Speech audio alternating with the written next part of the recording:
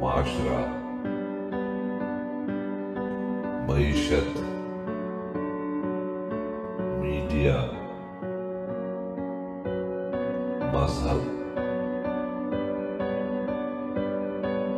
और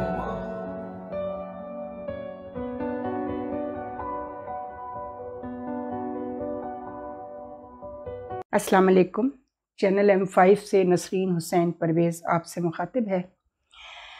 जनाब मेजर गौरव आर्या, आप, पाकिस्तान में तो शायद अब आपके सारे बयानिए पिट जाएँ, चूँकि आपने अच्छा काम किया था अपने मुल्क के लिए।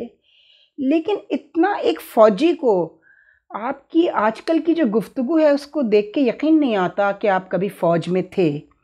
जैसा कि आपने कहा कि इंडिया और पाकिस्तान की आर्मी जो है, ये ब्रिटिश कॉलोनियल आर्मी ने ही इनको ट्रेंड किया था तो एक जैसी चीज़ें हैं। लेकिन हमारे यहाँ कभी आप किसी फ़ौजी को हाँ एक मेजर है, अभी हमने, आपने देखा वो आदिल राजा, वो भी मेजर है। उस तरह के लोग भी होते हैं। लेकिन वो तो उसके तो अपने मसाइल हैं। आपको तो सीने से लगाया हुआ है आपके मुल्क ने तो फिर आप उनके साथ ये ज़्यादती क्यों कर रहे हैं? उनको गलत, सलत जो है वो चीज़ों की तरफ़ आपने क्यों लगाया हुआ है? मुझे एक चीज़ समझ में नहीं आती। खालसा तहरीक है तो कश्मीर का मसला है तो कुछ भी हो जाता है। बॉम्बे, वो कसाई। क्या क्या मसला है भाई? अजमल कसाई, कसाब। हर वक्त पाकिस्तान क्यों आपके आसाब पे सवार रहता है? आपके यहाँ अपने मसले थोड़े हैं निमटाने के लिए।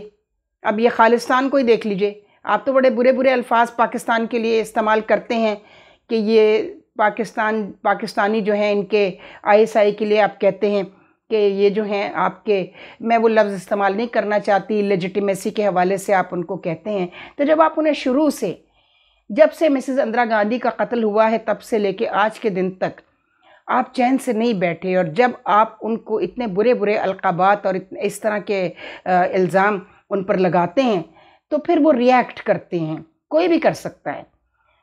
तो वो रिएक्ट करते हैं और उनकी तादाद बढ़ती चली जा रही है। खालसा की कनाडा में बैठ के जो उनकी तहरीक चल रही है, उस पर आज आप बड़े एक्साइटेड थे। लेकिन मैं आपको एक बड़ी ज़बरदस्त खबर दे रही हूँ। जनाब, मणिपुर जो मसला हुआ है और आपके मुल्क में बैठकर अमेरिका का एम्बेसडर आपसे कह रहा है कि हमें बताओ क्या मसला है, हम ठीक कर देते हैं, तुम्हारे बस का काम नहीं है ये। तो समझ लें ईस्ट इंडिया कंपनी आ चुकी है मैक्रॉन देखने के बाद तो मुझे पूरा यकीन हो गया है कि थर्टी परसेंट आपके शेयर्स और सेवन सेवेंटी परसेंट आपके शेयर्स और थर्टी परसेंट यूएस के।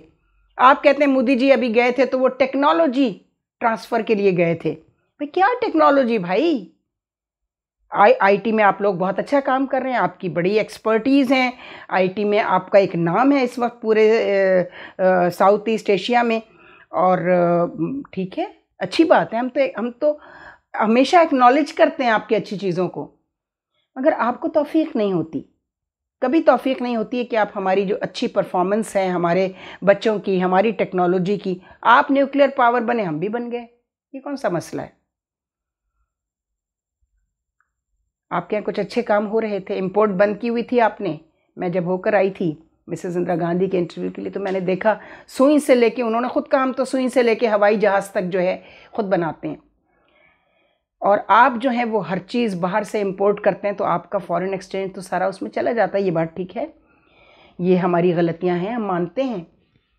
लेकिन अपने लोगों को फुटपाथों पे सुना, सुलाकर, उनको गुर्बत और भूख में धकेल कर और हुकूमतें जो हैं, वो टेक्नोलॉजी लाएँ या वो हथियार बनाएँ। आप ये चाहते हैं कि आप तो बनाएँ जी बड़े बड़े मिज़ाइल और बड़े ड्रोन्स बनाएँ। आप ड्रोन टेक्नोलॉजी के लिए गए थे ना आप, मोदी जी, अमेरिका।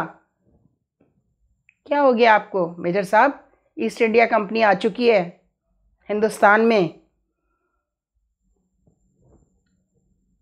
और अब आपको पता चलेगा, वो ये थोड़ी कहेंगे कि हम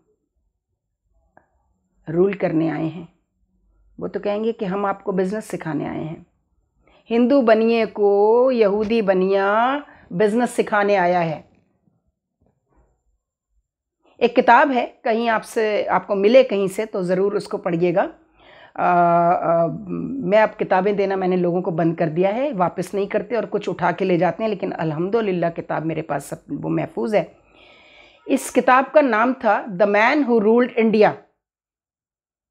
Philip Mason की किताब है। जब बहुत इल्ज़ाम लगे लॉर्ड माउंट बेटन पर और पूरे ईस्ट इंडिया कंपनी पर कि जी ये तो यहाँ पर जो है वो रूल करने के लिए आए थे। और ये तिजारत तो एक बहाना था ईस्ट इंडिया कंपनी जो खोली, वो एक बहाना था।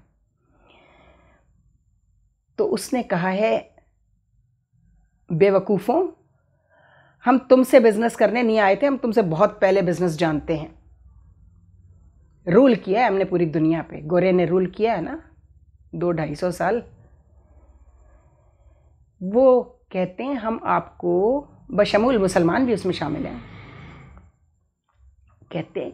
कहता है फिलिप मेसन कहता है, भाई, हम तुम्हें सिविलाइजेशन सिखाने आए थे रूल करने नहीं आए थे। बिज़नेस सिखाने आए थे।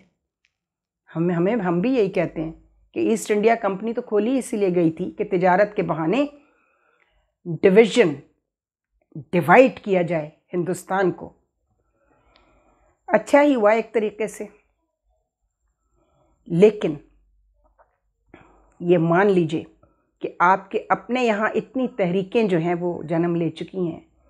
शुद्ध लोअर कास्ट के लोगों को आप क्या समझते हैं? ब्रह्मनी राज करते रहेंगे। ये भी तो चला ना बहुत अरसे। फिर कांग्रेस के खिलाफ चूँकि वो एक बैलेंस्ड जमात थी, आप एक एक्सट्रीमिज़र जो राष्ट्रीय सेवक सिंह आरएसएस जो है, वो वो ज़रा पीछे रह गई। और पीछे क्या रह गई? मतलब लीडर्स तो वो आपके जो है डिक्टेटर्स और पॉलिसी मेकर्स तो वही हैं। सामने बीजेपी को रख लिया। तो बात तो फिर भी नहीं बन पा रही।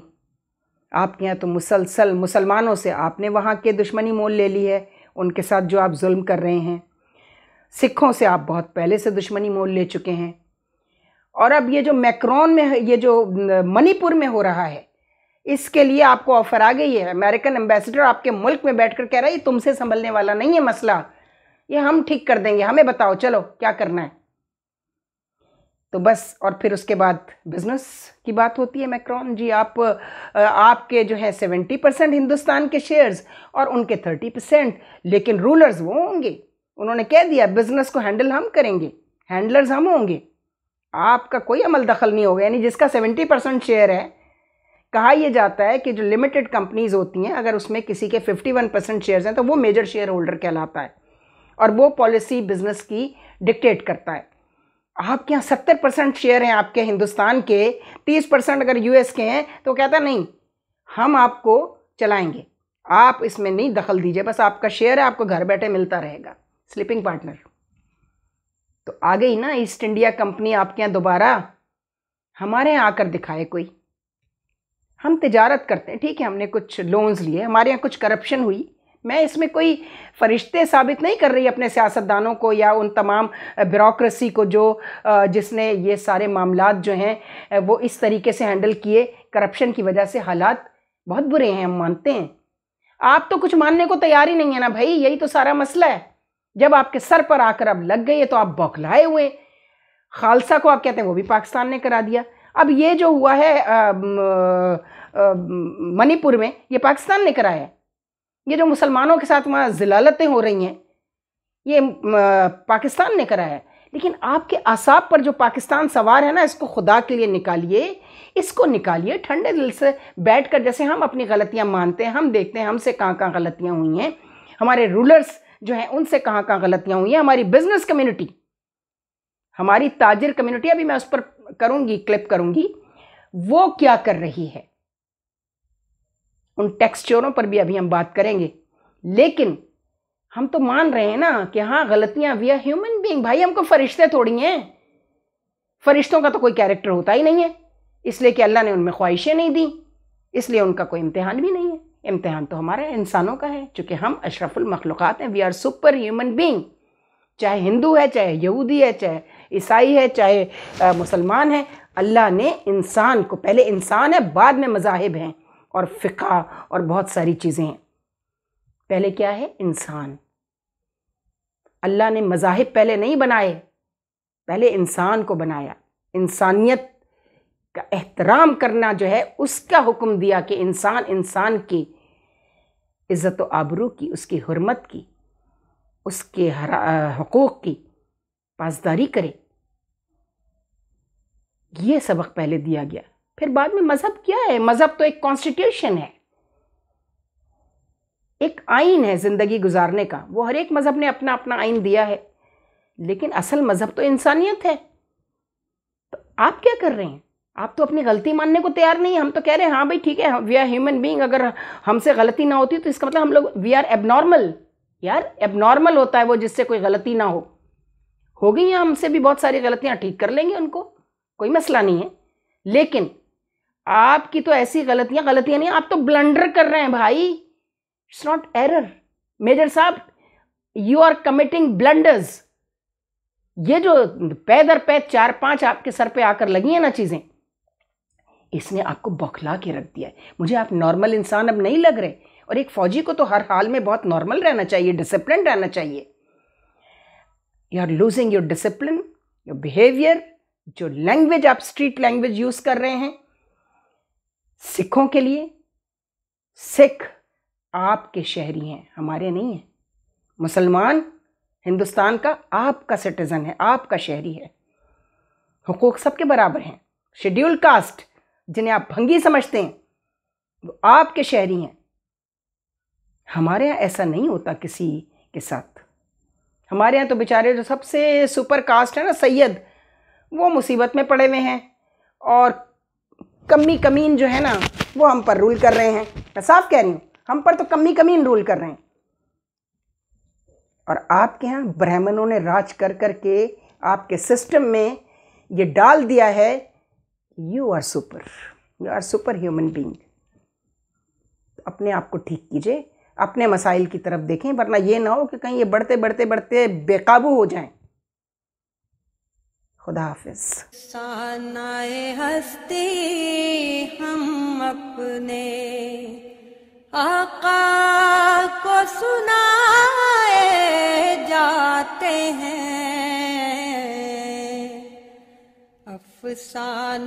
हस्ती हम अपने को जाते हैं।